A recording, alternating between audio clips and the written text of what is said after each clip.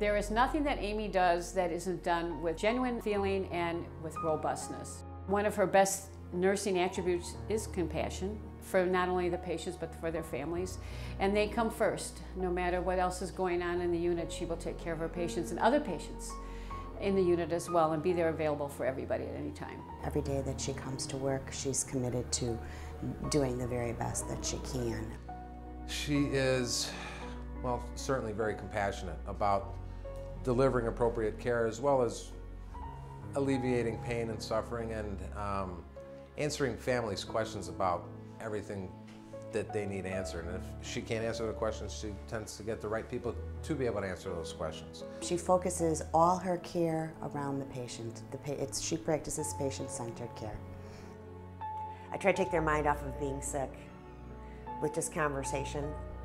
So they always are smiling. It's a fun job. They feel comfortable with her and they're, and you know, she's often been in cases where she can diffuse a situation if it's being somebody's being over emotional. She's very good at that kind of thing. Now, the problem with most of our patients is that they're on ventilators. They're not doing anything. They're not talking. You know, they're not the ones that are experiencing the emotional, psychological um, pains that tend to happen in a, in a significant illness, um, where the family around the patient is, and they're the ones that are lamenting and, and crying and confused and whatnot. When she sees that pain and suffering that the family's going through, she tries to alleviate it as much as possible. You do it for the family, and you do it for others that you work with, and I just feel that um, you take care of the family and the patient. And to do that, you have to be the strong one, you have to show them support, and that um, making life decisions for others is very difficult, but um, as long as you love them and think about what they would want, I'm there to support them, whatever their decisions are, as far as end of life. Paul Jember was a patient here. He came into the ICU critically ill. He was terminally ill. His wife happened to be a patient in our TCU, which is our rehab department.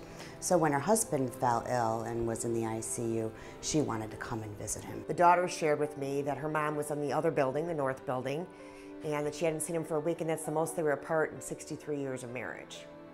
So I asked how she was doing, and I called her nurse, just to get a report on her and see if she was able to come over in a wheelchair and that I could take care of her here.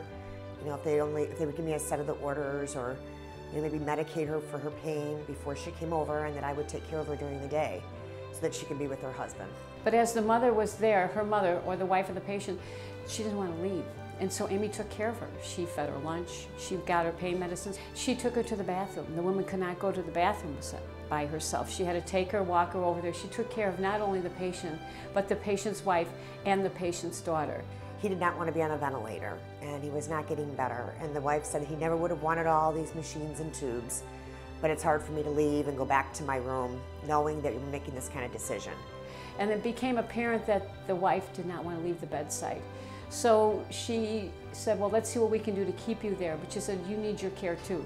Amy thought, well, would it be possible at all if we could have the two of them um, room together? So um, that's when we intervened and, um, and made that happen. I spoke with the manager in TCU and my manager, and we worked it out that they moved patients around.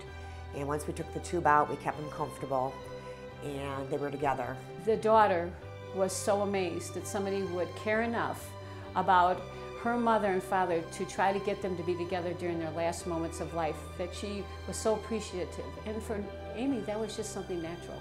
She was she would have done that for anybody. She understands what it feels like to be a family member watching your loved one um, pass away and you want to do whatever you can for them and make them as comfortable as possible I guess I think about how I would want to be treated. I try to be empathetic and uh, think if it was my parent or my husband, um, this is how I would want to be treated you know, with respect and individuality, and to listen to them, what their real needs are.